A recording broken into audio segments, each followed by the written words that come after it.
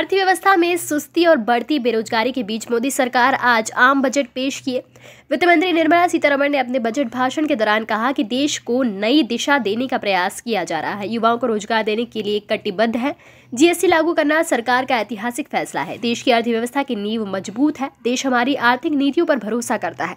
हम भविष्य में गाँव को और रोज़गार देंगे। वित्त मंत्री ने बताया कि सरकार एलआईसी का एक बड़ा हिस्सा बेचेगी।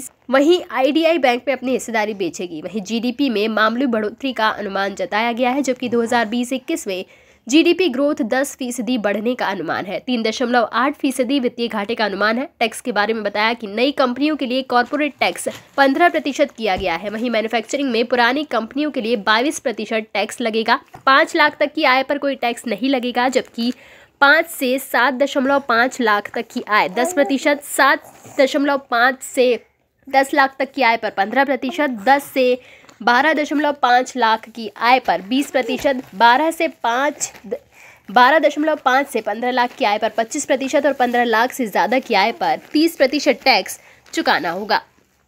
Subscribe our channel and press the bell icon for more updates.